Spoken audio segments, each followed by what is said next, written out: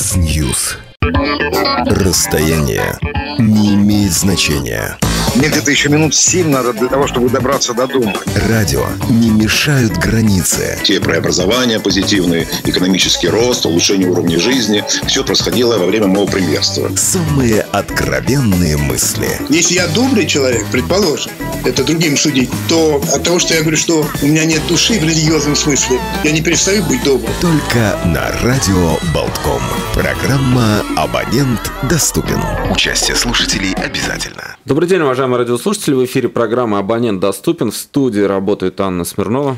Вадим Родионов, звукорежиссер Родион Золотарев. И на прямой связи по скайпу с нами сегодня политолог, э, доцент, доцент ГИМО Кирилл Коктыш. Здравствуйте. Доброго дня.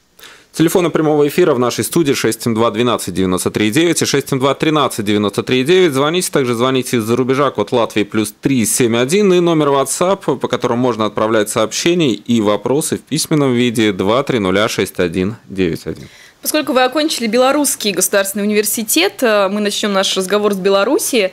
Нередко вы комментируете события, которые там происходят. Э, президент Беларуси, который э, критиковали которого э, на Западе как последнего диктатора Европы, нередко его так называли, посетит Австрию, чуть позже в Латвию также он приедет. А, пригла- приглашение было уже давно президенту Беларуси. Почему именно сейчас он решил посетить Европу, на ваш взгляд? Ну, это назревшее, понятно, что реальные отношения с Европой и отношения э, экономические, они в Беларуси достаточно выстроены, они выстроены Литву, они выстроены через Латвию. И, в общем-то, Беларусь всегда достаточно широко с латвийскими портами и литовскими. То есть в этом плане с экономическим, на экономическом уровне всегда все было абсолютно в порядке. А политические контакты с Европой Александру Григорьевичу обычно требуются, когда нужно торговаться с Москвой. И, как правило, торг более или менее удачный, и он до сих пор срабатывает. То есть в этом плане от Европы ничего особенного, по большому счету, не требуется. Ну, кроме как, э, в общем-то, где-то подыграть Александру Григорьевичу, но где-то фиксировать его реальные движения и его реальные, в общем-то, успехи, потому что все-таки ничего не сделав, не выполнив ни одного условия Евросоюза, заставить Евросоюз принять те условия, а де-факто предлагает Беларусь, это нужно быть очень талантливым и очень даренным политиком. Но можно ли говорить о том, что э, действительно вот этот статус, который приписывали Лукашенко, последний диктатор Европы, он сейчас уже не актуален, его так уже не воспринимают? Ну, он так и не воспринимался. Мы же понимаем, что обычно диктатурой называют любое сильное государство, мракобесием называют любую, в общем-то, сильную а местную культуру, в том числе и конфессиональную, то есть больше сколько была мракобесная в этом плане, если посмотреть на, в общем-то, на семантику этих слов. То есть обычно такие лингвистические маркеры свидетельствуют о том, какого рода идет борьба и против кого борется. Но оно очень мало фиксирует саму реальность. Мы же не будем говорить, что все восточноевропейские страны – это прирожденные демократии, и такими были всегда. То есть в этом плане понятно, что это был, общем-то, в первую очередь политический ярлык. Да, он достаточно успешно был наклеен, долго продержался, но, опять же, он был дезавуирован самой Европой, самим Евросоюзом, и причем на условиях Александра Григорьевича Лукашенко. То есть в этом плане как раз-таки он продемонстрировал достаточно высокий политический класс, высокую политическую интуицию и сумел, в общем-то, добиться своего, собственно говоря, показав, что Беларусь в его лице, под его руководством, она оказывается где-то искуснее и где-то мудрее тверже Евросоюза. Можно ли сказать, что есть определенного рода потепление в отношениях белорусского лидера и Европы, или же охлаждения, в принципе, как вы считаете, не было? Это потепление сейчас нужно Европе. То есть понятно, что в ситуации поляризации отношений с Россией, понятно, что в ситуации, когда вот эта антироссийская конфронтация, она в том числе искусственно подогревается, и, в общем-то, для НАТО, для НАТО, скажем так, российская проблема, российская угроза становится способом выбивания денег из европейских членов НАТО. А понятно, что в этих условиях а Европа просто была обречена говорить о том, что Беларусь – это союзное близкое государство, что она всегда сохраняла европейскую ориентацию, не потому, что вдруг потеплели чувства к самой Беларуси, а потому, что ну, возникла такая прагматическая необходимость. Потому что все, что может досадить России, все, что может пойти в ход в качестве аргументов, естественно, вход этот шум. То есть в этом плане ситуация тоже была вполне предсказуема. Как предсказуема она сейчас, по мере разрешения украинского вопроса, он сейчас начнет разрешаться, эта ситуация начнет потихоньку отматываться назад. Я думаю, в ближайший год мы станем с вами свидетелями такой масштабной, хорошей э, нормализации и разрядки. Как долго, на ваш взгляд, э, президент Беларуси еще будет у власти и есть ли у него преемник? Ну, вот это сложный вопрос.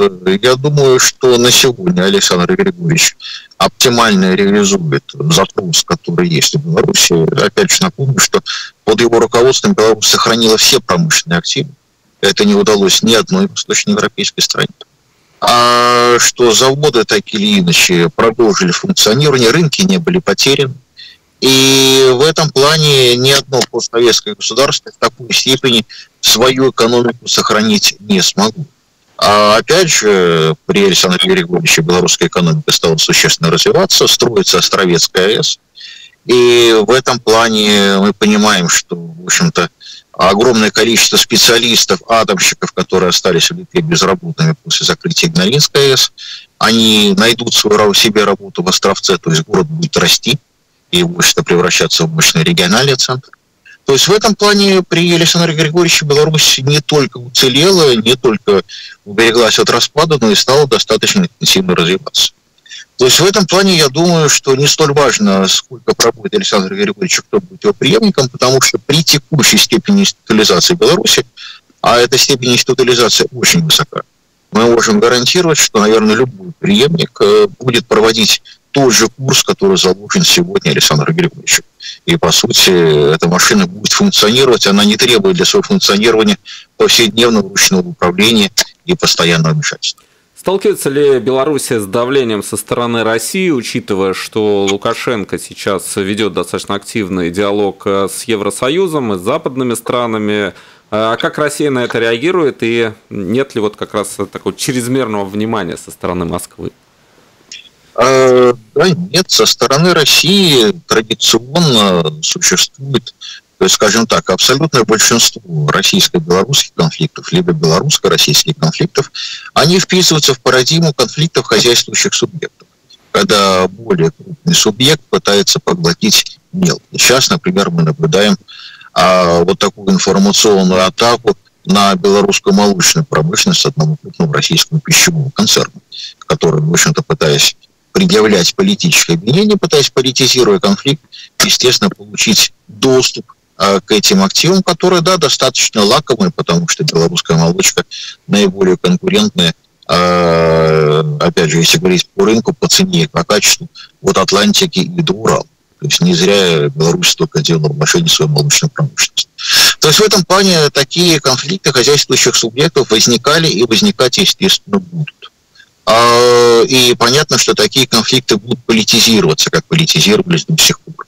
Мы это наблюдали с Уралкалием, мы это наблюдали на попытках а, поглотить Белавия, которые тоже имели место, и эта атака, в общем-то, захлебнулась, едва только начавшись.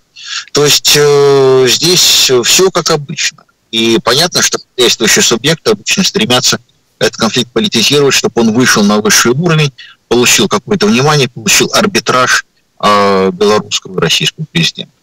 Но если брать реальные политические претензии, реальные политические расхождения, то на самом деле их нет.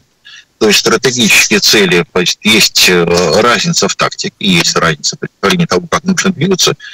Но, в общем-то, стратегической конфликтности нету. И если мы посмотрим на, э, собственно говоря, позицию российского МИДа, если мы посмотрим на позицию, опять же, на уровне контактов и уровень коммуникации, то мы видим, что здесь все абсолютно рабочее. И было бы глупо, естественно, если бы Россия пыталась, э, скажем так, возражать, либо каким-то образом негативно относиться к нормализации отношений Беларуси с Европой, потому что на сегодня идет речь о, о восстановлении нормального уровня взаимоотношений. Потому что Беларусь под санкциями прожила слишком долго, в общем-то, по сути, с начала 2000-х годов. И, кстати говоря, в изрядной степени, конечно, это укрепило и сделало, наверное, очень прочным сегодняшнюю белорусскую политическую систему, потому что белорусские экономические элиты прекрасно понимали, что свои деньги они могут хранить только на родине. А если ты хранишь деньги только на родине, то ты, конечно, должен думать о том, чтобы народ относился к тебе как к очень полезному части политического ландшафта. Что, в общем-то, и культивировалось в изрядной степени при помощи европейских санкций. Но ну, одной из ключевых э, тем российско-белорусских отношений э, сегодня стала актуализация договора о союзном государстве. А какие в этом отношении сегодня есть перспективы? Ну, я думаю, что будут какие-то определенные экономические прорывы. Дело в том, что повестка дня союзного государства, как она задумывалась а в конце 90-х, в начале 2000-х, она в изрядной степени реализована. То есть экономическая интеграция настолько, насколько она могла произойти, она произошла. А политическое сближение до приемлемого для обеих стран уровня тоже произошло. Вот, культурная интеграция и гуманитарные измерения были реализованы полностью, то есть белорусы в России и россияне в Беларуси обладают абсолютно равными правами э, на образование, на медицину, на имущество, то есть фактически это полное решение гуманитарных вопросов. Но понятно, что вот идеологически на сегодня есть разные общем, подходы к восприятию и сегодняшних актуальных международных проблем. В частности, понятно, Беларусь как брокер Минской площадки и как хозяин Минской площадки, скажем так, не может солидаризироваться с Россией по ряду важных для России пунктов. Вот. Это не означает конфликтность, это означает просто разность. И понятно, что вот та повестка, она большей части выработана, сейчас нужно делать какую-то другую. Возможно, это будет евразийская повестка, э, по той простой причине, что Беларусь будет председательство следующие четыре года Евразийской экономической комиссии. И она, конечно, может э, добиться, это было бы, конечно, очень существенным прорывом, если бы Беларусь смогла привнести в Евразийскую экономическую комиссию промышленную политику, поддержку собственного бизнеса, поддержку белорусского производства, ну, собственно говоря, и союзного евразийского производства. То есть ровно того, что делает Трамп сегодня в отношении американской промышленности, и то, что перестало быть табу в сегодняшней, в общем-то, экономической науке. Но как-то никто еще не решается вслух, вслед за Трампом, сказать, что, в общем-то, любая промышленная политика – это протекционизм, преференция, это выращивание чего-то своего, для того, чтобы потом это можно было выпустить. Так вот, э, соответственно, эта новая повестка может сводиться к евразийской повестке. Она может сводиться к цифровизации экономики. Это тоже очень интересный пункт, потому что в Беларуси есть парк высоких технологий, достаточно успешный, который вышел на миллиардные э, доходы. Другой вопрос, что он работает в основном на аутсорсинге. А в России есть Сколково, который, в общем-то, при, конечно, гораздо более существенных российских инвестициях вышел примерно на те же обороты, что и белорусский парк высоких технологий. Есть промышленность, есть э, повестка цифровизации. И если Беларусь возглавит тренд, э, и в рамках союзного государства тренд пойдет по цифровизации промышленных, э, собственно говоря, а, активов, то есть по цифровизации производства, то это может оказаться, в общем-то, очень существенным прорывом, причем и страновым, и существенным, потому что, скажем, станки с числовым программным управлением последнего поколения – а на сегодня делают только в Китае, даже Европа не может делать. Поэтому если вот получится выйти на эти вещи, и вот эти вещи сделать целью союзного проекта, это, конечно, будет весьма и весьма существенно. То есть речь идет о том, конечно, чтобы, э, в общем-то, заменять политическую повестку дня, которая на сегодня, э, в общем-то, ну, вряд ли может быть унифицирована, на прорывную экономическую повестку дня, то есть ровно для этого министры экономики двух стран как раз усиленно работают, для того, чтобы мы получили здесь, конечно, реальный переход э, количества в качество и выход на совершенно новые рубежи. 672-12-93-9 и 672-13-93-9, телефона прямого эфира в нашей студии. Звоните, задавайте свои вопросы, пишите в WhatsApp 2306191. Что касается оппозиции сегодня на территории Беларуси, есть ли она вообще и насколько эффективна? Она есть, она никуда не девалась. Это те же самые люди с начала 90-х годов. Они очень прочно занимают свои позиции и, в общем-то, вряд ли кого-то будут пускать на свое место. В этом как раз-таки и сила, и слабость белорусской позиции, потому что понятно, что когда она становится по сути, профессий, то, конечно, она очень сильно теряет публичности. Ну, с другой стороны, эта вещь предсказуема по той простой причине, что как можно, например, то есть, скажем так, как можно быть оппозицией без внятной экономической программы, без внятной политической программы, потому что программа, что мы вот придем в Европу и все автоматически наладится, но это не программа. И белорусское население совершенно справедливо этому не верит и воспринимает это, в общем-то, ну, красивые слова, то есть все хорошо, но за пределы 5-7% поддержки, как мы видим, это стабильно не выходит. А как только появится внятная программа, то есть как это можно сделать, как сохранить, как развить белорусскую экономику при всей ее уникальности, она все-таки уникальна. Это в первую очередь она состояла из э, предприятий, а, которые работали на весь общесоюзный рынок, то есть это как раз-таки достаточно существенно, это примерно а, дюжина крупных монополистов, и понятно, что подход к белорусской экономике, а опять же, Беларусь, белорусская промышленность задала высокую степень урбанизации, это 60% населения. То есть, понятно, живет в городах, и понятно, что при таком уровне урбанизации, при таком концентрации промышленности, отказаться от промышленной идентичности без катастрофических последствий для себя Беларусь, конечно, не могла, не может, да и не будет это делать. Это достаточно выгодно и достаточно хорошо. У нас э, много звонков. Э, примем первый. Здравствуйте, как вас зовут? Добрый день, Стефания да, Тимурова. Да, э, Белорусская, да. Ну вот, у меня такой вопрос. Вот это вот заигрывание Лукашенко, не поставят ли его в такую же позицию, как и Янукович? Когда-то в Белоруссии раньше, чем на Украине начинала оппозиция там раскачивать, да? И как вот э, это что-то такое невероятное, эти качания. Все, спасибо. Да, спасибо, да, спасибо вам за вопрос. Да, вопрос понятен. Э, конечно, такая опасность всегда есть. Э, другой вопрос, что Александр Григорьевич очень искушенный переговорщик, а очень реальный переговорщик, то есть его подход в отношении западных ценностей был очень простой, что ценности должны оцениваться, то есть они должны что-то стоить. А если тот же Запад не готов подкрепить свои слова реальными ресурсами, ну это просто красивые слова. То есть все логично, оно восходит, собственно говоря, к изначальному английскому слову values, да, то есть это то, чего чего-то стоит. А если эти слова которые не сопровождаются движениями ресурсов, то к этому не стоит относиться всерьез. Так вот, э, до сих пор, ну, скажем так, сегодня Запад не имеет тех ресурсов. То есть давайте смотреть, что Беларусь является а, крупным участником российского рынка, от него существенно зависим. Беларусь является незаменимым участником китайского проекта «Пумис и путь».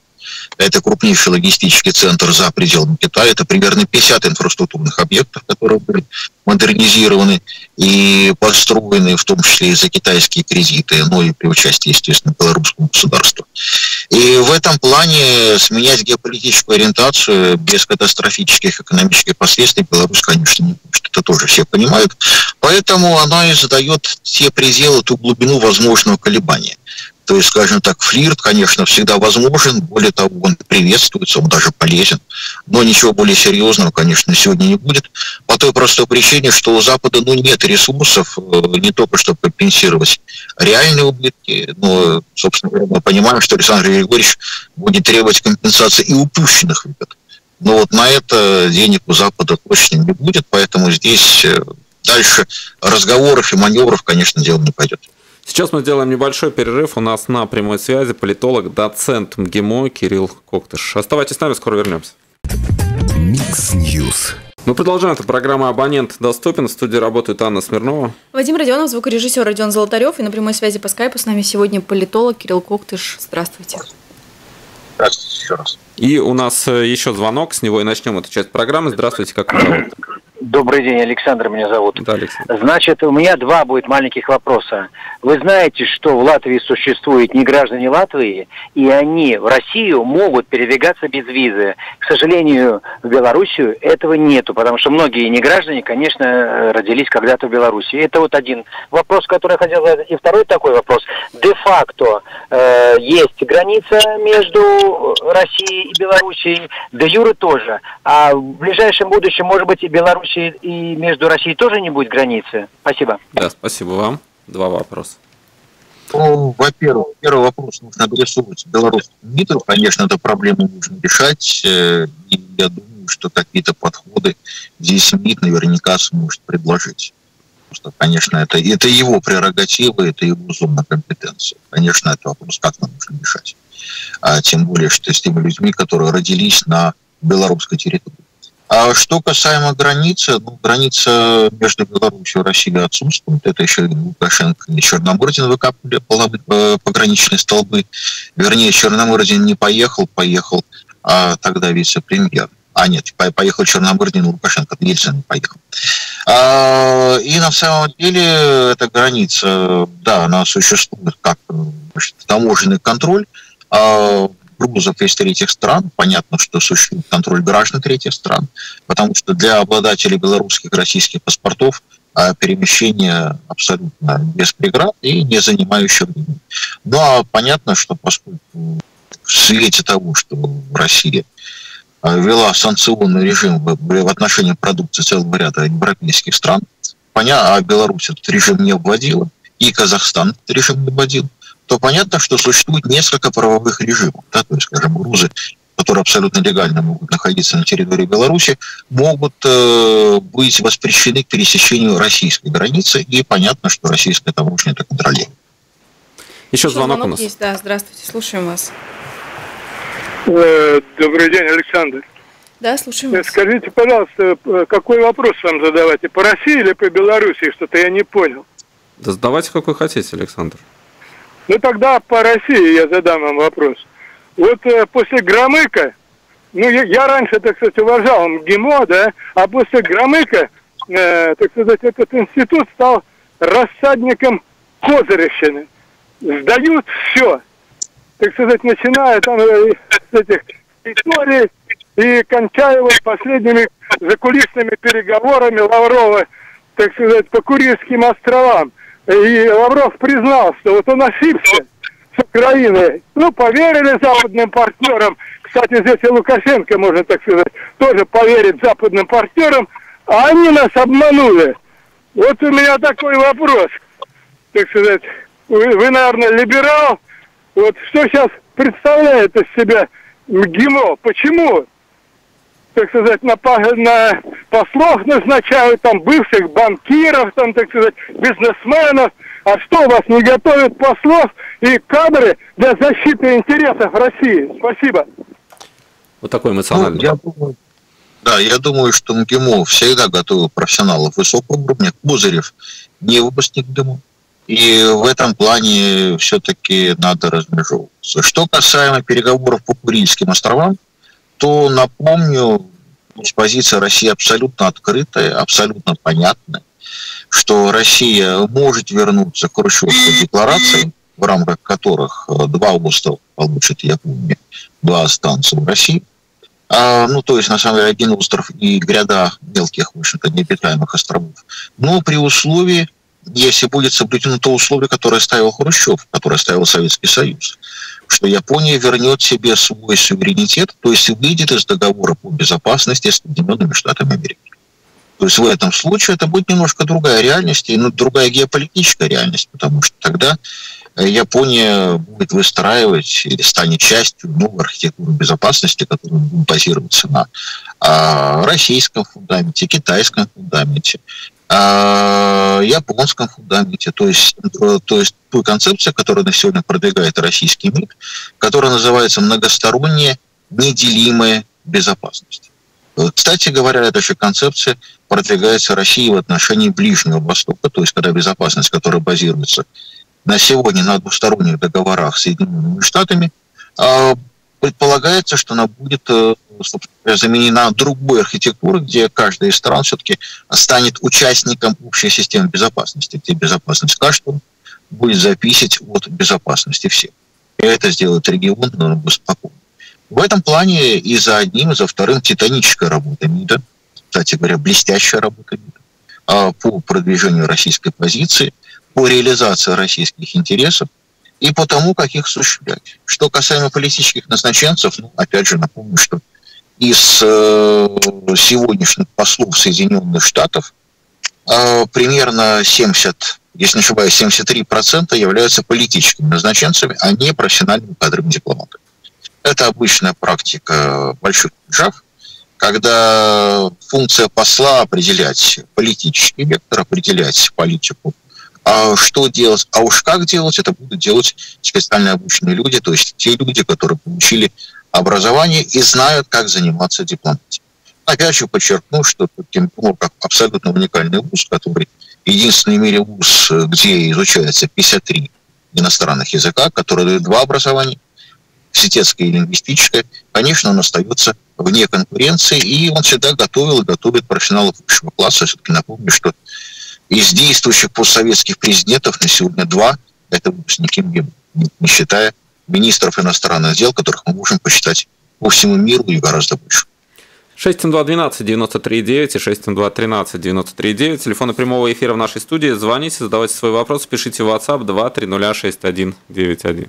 Что касается выпускников и учащихся, сегодня нередко говорят о том, что протесты молодеют, и мы тоже можем это видеть, а, говоря о протестных настроениях э, в России. Среди студентов вы замечаете вот эти вот настроения протеста сегодня в отношении власти? Да нет, конечно. Э, ну, во-первых, МГИМО – это не показатель, то есть мы получаем всегда лучших из лучших. Э, поэтому провалов по качеству человеческого материала у нас никогда не было. Вот. А во-вторых, э, мы все-таки объясняем, ориентируем студентов на то, что важно понимание. То есть массовки всегда, наверное, будет хватать. Эта массовка часто используют, используют часто по-черному и очень некрасиво. Вот. А дело все-таки студента понимать, и нашего, по крайней мере, студента, понимать, что происходит, уметь в этом разобраться, уметь вычленить структуру интересов, уметь вычленить, кто зачем стоит. То есть, по сути, быть способным играть ну, в аналитические, а заодно и в политические, в экономические шахматы. Потому что без способности просчитывать, без способности выстраивать прогноз, конечно, любой специалист мало чего будет стоить. Ну а с другой стороны, протестов-то в Москве никаких особых нет. То есть в этом плане то, что происходило тем самым, скажем, летом, это были протесты против конкретного решения мэрии, но в этом плане они не распространялись никаким образом на остальную власть. То есть в этом плане все-таки нужно понимать, что российское, скажем, недовольство, оно очень сильно сегментировано и ориентировано на разные этажи власти, при том, что в московской мэрии э, достаточное количество вопросов было, есть и остается. Э, на политический уровень, собственно говоря, эти протесты не вышли, да, там и не было такого особого шанса. Вы считаете участников протеста провалами качества человеческого материала? Ну, дело в том, что каждый учится на что-то свое. А если ты учишься в элитном вузе, то не для того, чтобы бегать по улице с плакатами, а для того, чтобы, по крайней мере, понимать, что происходит. То есть, э, скажем так, общий материал, скажем так, человеческий материал, который готов поддаваться на эмоции, выступать и действовать, его всегда будет хватать. Его по-человечески нужно понимать и по возможности, конечно, все это как-то структурировать. Но ГИМО готовит не массовку. И без всяких, в общем-то, обиды по отношению к тем, кто не МГИМО, мы все-таки понимаем, что МГИМО – это элитный вуз, который готовит отдельную немножко касту международников, которые должны в этих делах разбираться. И разбираться, наверное, на уровне шахматиста, а не на уровне того, кто на волне эмоций готов бегать и готов, соответственно, в том числе и подставляя угрозу и свое здоровье, и общественный порядок.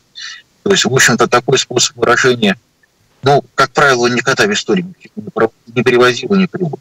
Возьмите, начиная историю, начиная с Великой Французской революции, продолжая Октябрьской революцию, продолжая протест, любая революция, любое потрясение приводило к ухудшению качества жизни и к ухудшению изначальных условий.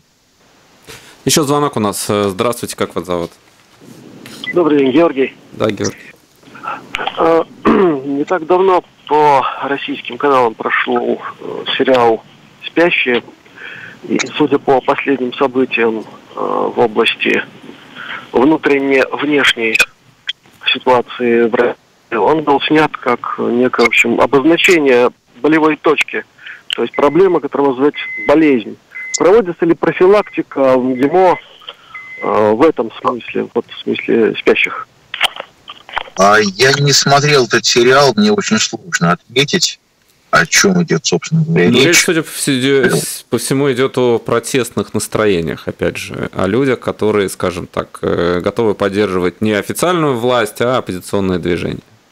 Нет, дело в том, что я просто объясню позицию, ну, скажем так, лично мою, как преподавательскую, но она разделяется, думаю, достаточно много, что, конечно, кто-то может себе позволить роскошь быть пациентом и подвергаться, и болеть самыми разными болезнями.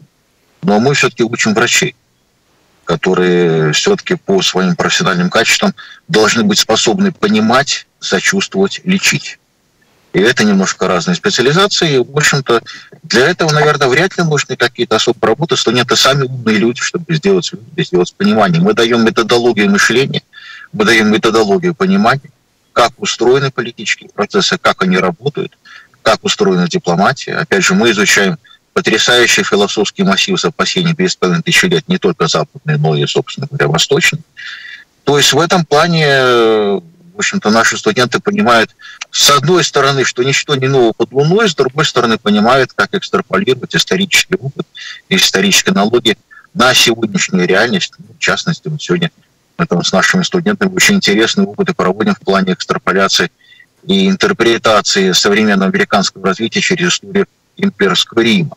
И вот что мы там находим огромное количество самых разных аналогий, включая, кстати говоря, и сегодняшние скандалы по поводу импичмента. То есть в этом плане мы всегда можем построить очень интересную историческую модель, понимая, как это происходит, а кто во что играет и каким, соответственно, последствиям там может приводить. Но ведь Дональд исходить... Трамп ему, по крайней мере, приписывает это. То, то, есть, то есть, скажем так, ему это своего рода касталья, которая, в общем-то, ну, наверное, такие вещи нужны для того, чтобы сохранить понимание того, что происходит. Но Дональд Трамп, э, которому приписывают эти слова, на встрече с руководством Италии заявил, что США и Древний Рим успешно сотрудничали. Ну, конечно, многие это э, иронизируют над этой фразой, учитывая, что они чисто даже по времени это не могли делать, но тем не менее. Могли, могли, если запомним, что это очень живая для Соединенных Штатов метафора, а по той простой причине, что тот же Гамильтон, Джон Джей и, а, соответственно, и Мэдисон писали под одним псевдонимом Пули, своего федералиста, и в этом плане э, Римская республика стала во многом образцом. Но, опять же, образцом таким, что если мы уже будем а, уходить в дискуссии, уходить, собственно говоря, в обсуждение того, как строили Соединенные Штаты, то главным вопросом было, если перевести все это в сегодняшний дискурс, вопрос, который ставил Александр Гамильтон, как сделать так, чтобы наемный политический менеджер, то есть президент, не объявил себя главным акционером системы. То есть в этом плане оно все звучит очень по-современному, и оно звучало также по-современному и в Древнем Риме, и оно звучит современно и сейчас, и, собственно говоря, ровно этот дискурс как раз обсуждается. Трамп в этом плане э, делал очень понятную отсылку к федералисту, делал очень понятную отсылку к тем дискуссиям, которые кипели в тот период. И в этом плане он просто продемонстрировал свою позицию. Но он, возможно, просто не очень удачно был переведен. У нас еще звонок э, только что был сорвался. Напомню, телефоны прямого эфира 672 12 93 9 и 672 13 93 9. Здравствуйте, как вас зовут? Ну, здравствуйте, Алексей. Да, Алексей. Э, знаете, хотел чисто теоретически э, мнение вашего собеседника послушать, э, как он оценивает э, перспективы, может быть, даже в обозренном, в обозримом будущем, может быть, отдаленном будущем на курс России на ужесточение, как говорится, внутренней политики и на, наконец, восстановление большой страны в неких границах, возможно, близких к СССР, и собирание, возвращению своих земель. Вот такой интересный, просто теоретический хотя бы мнение вашего собеседника. Да, спасибо.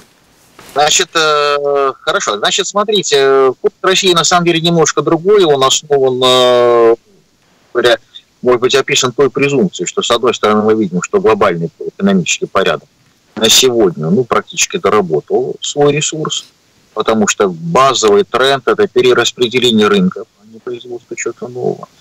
И в этом плане мы понимаем, что должно быть переучреждение гипотетическое какого-то другого баланса сил, весов, политических, экономических и так далее. И мы понимаем, что вот этот факт э, назревает, что явно после 2020 года, после ноября 2020 года, после выборов в Штатах, когда а, с Трампом, либо с преемником Трампа, э, как главным акционером сегодняшнего мирового порядка, но я думаю, что Трамп на сегодня имеет э, в общем-то, возможности усидеть гораздо больше, чем возможности его оппонентов его свергнуть. Но даже если кто-то и победит его, то все равно это надо понимать, что ситуация перешла в другое качество, и сегодня мы имеем э, немножко другую э, другой мировой порядок, уже обратного не получится. Так вот, мы понимаем, что, собственно говоря, переучреждение мирового порядка будет между штатами. А понятно, что непременным участником будет Китай, но это не будет уже Чин-Чинерика, как говорилось несколько лет назад, это не будет, в общем-то, синтез Китая и Америки.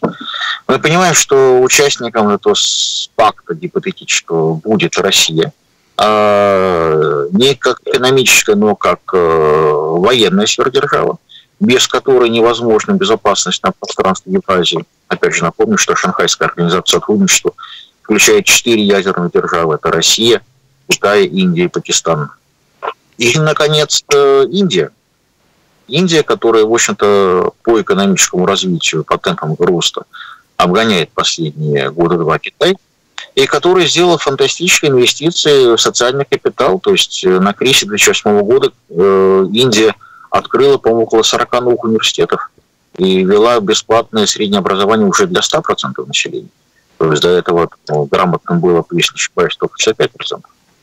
То есть в этом плане Индия сделала цивилизационный рывок, сейчас она пожинает плоды вот этого инвестирования в человеческий капитал, социальный капитал. И, в общем-то, у нас четыре субъекта, четыре центра силы, которые, наверное, будут договариваться. По-хорошему, конечно, должен быть пятый субъект а в лице Евросоюза. Но мы пока видим, что внутренние противоречия, борьба с внутренним противоречием съедает абсолютно большинство сил, к сожалению. Потому что Европа здесь абсолютно не лишний участник диалога лучше бы, конечно, чтобы, она была и была как полноценный участник, а не как объект. Но опять же, то, что мы констатируем, то, что сегодня есть, то, что мы имеем. Так вот, к этому большому внешнеполитическому переделу, да, учреждению нового порядка России подходит состояние полной готовности. А внутриполитические проблемы, да, многие запущены, да, многие внутриполитические ошибки сделаны.